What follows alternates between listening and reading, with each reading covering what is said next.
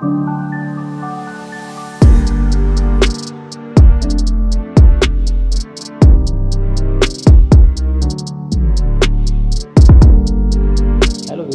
में मैं आपके लिए एक लेटेस्ट गोल्डन एडिशन की वॉच लेके आया हूँ। पहले जिन वॉचेस की मैंने अनबॉक्सिंग की थी, वो मोस्टली नॉर्मल टाइप की वॉचेस थी टी एट हंड्रेड अल्ट्रा जो थी।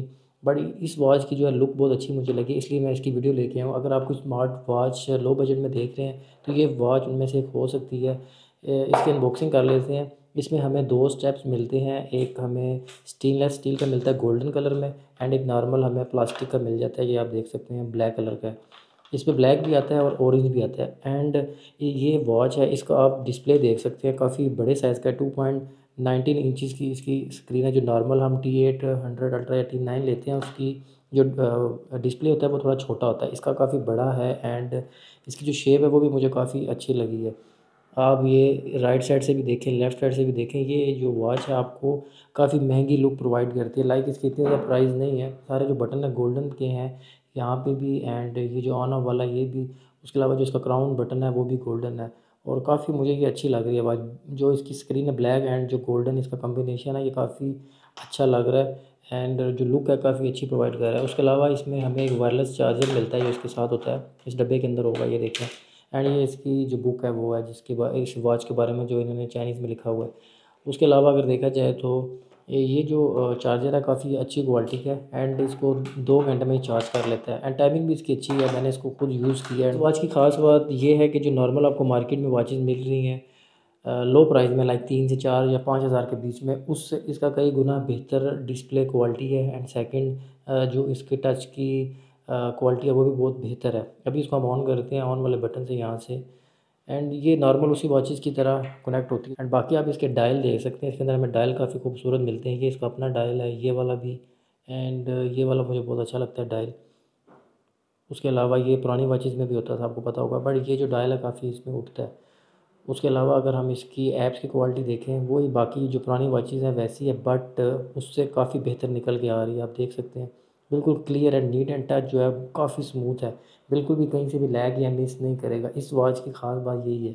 एंड सेकंड इसके अंदर कुछ फीचर्स हमें बाकी वॉचेस से थोड़े से एक्स्ट्रा मिल जाते हैं। अगर हम सेटिंग्स में भी जाए तो ये देख सकते हैं आप।